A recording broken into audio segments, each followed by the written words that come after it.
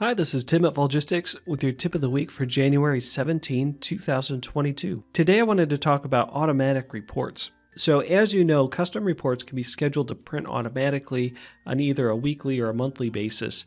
And you'll see them here on the print page with this circle arrow icon to indicate that it's an automatic report. So, these are queued and printed automatically during our overnight maintenance cycle. And usually these commands are completed very quickly, but sometimes some backlogs can create delays.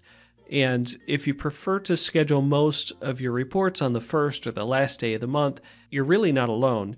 These days in particular often have very long queues, and there's considerable wait time for your reports and even the other overnight commands to finish. To avoid these kind of delays, consider scheduling your reports to print on a day of the month other than the first or the last day. This will help ensure your automatic reports are ready and waiting for you to review first thing in the morning. And in the case of service reports, it can give you a couple extra days to make sure that the service from the previous month has all been posted.